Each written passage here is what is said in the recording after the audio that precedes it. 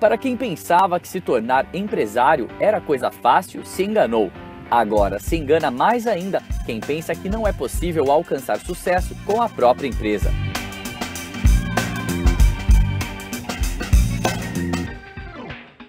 Carol Martinelli decidiu que iria abrir o próprio negócio. Abandonou a carreira de química em uma empresa de cerâmica e procurou um novo trabalho.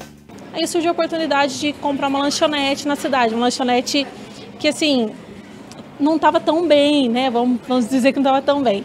Pegamos no começo, foi uma vida, porque não tinha dinheiro para pagar o motoboy no final da noite. Partimos depois para uma casa de sucos e também deu muito certo lá em Andradas, que está em funcionamento até hoje com outra pessoa.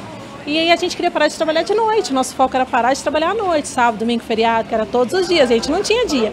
O que, que a gente pode fazer? Começamos a pesquisar o mercado. O que, que a gente pode trazer de novo? A novidade ficou por conta do sabor, qualidade, praticidade e forma de trabalho. A Carol transformou o quitute predileto do brasileiro em uma rede de franquias, a Carol Coxinhas. Pesquisando, vimos esse nicho que estava crescendo em um outro estado, por que não tentar não aperfeiçoar? Estudamos o negócio a fundo, fomos devagarinho, Começamos lá em Andradas, onde nós temos a nossa fábrica ainda, com a nossa primeira loja. Acreditávamos que precisávamos ter pelo menos uma cinco para alguém acreditar na nossa marca, porque a gente já tinha ideia de franquear. E não foi isso que aconteceu. A nossa primeira loja foi um estouro. Logo veio pessoas interessadas, já teve a segunda unidade em Poços de Caldas, terceira Mogi Guaçu, quarta Pinhal e dali estourou. E estamos aqui hoje em Paulínia. Um dos setores que mais crescem em todo o Brasil é o ramo de franquias. Só em 2015, houve aproximadamente um aumento de 9% no recebimento de novas unidades. A Carol Coxinhas, em apenas um ano, franqueou mais de 20 unidades da loja. Bom, a gente tem uma logística, né? Eu posso atender até X lojas hoje, mas ainda tenho uma boa quantia para vender. Estamos num projeto de expansão.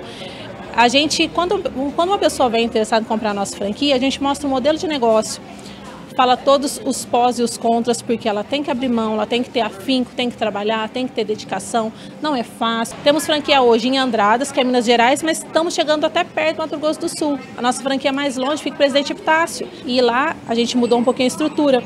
Ele quis levar o negócio para lá, então ele montou uma câmera fria. Ele adequou para levar coxinhas para lá. E foi uma jogada muito boa, que está um sucesso para aquele lado também. Já estamos abrindo a segunda unidade naquela região e está crescendo bastante procura. E quem está muito satisfeito com os negócios é o empresário Rômulo, que já possui fabricação própria de biscoitos e agora decidiu investir em um novo negócio.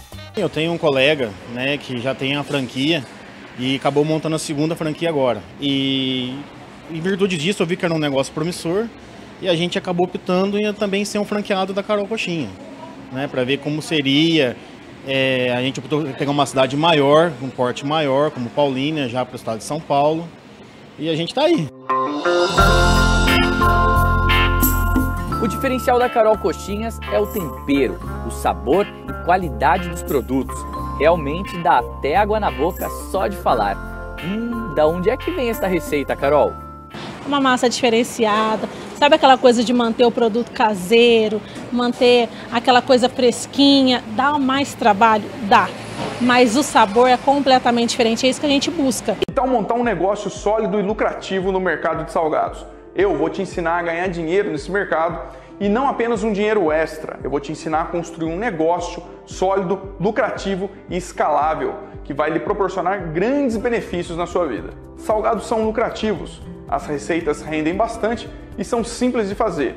E quando você utiliza estratégias de marketing, você obtém lucros superiores a 300%. Além disso, é possível ganhar dinheiro de muitas formas com o mercado de salgados. Confira algumas delas. Você pode vender para festas, eventos corporativos, aniversários, reuniões de amigos, você pode fazer delivery, vender para lanchonetes, buffets, vender para supermercados de forma congelada. Talvez você conheça aí na sua região pessoas que trabalham com salgados e que não tenham tanto sucesso. O que falta para essas pessoas é um melhor posicionamento em marketing e uma estratégia bem definida em vendas. E é isso que eu ensino e que eu foco no curso Lucrando com Salgados. Até breve! Clique no botão abaixo e faça sua inscrição no curso Lucrando com Salgados hoje mesmo. O acesso ao curso será enviado em alguns minutos para o seu e-mail.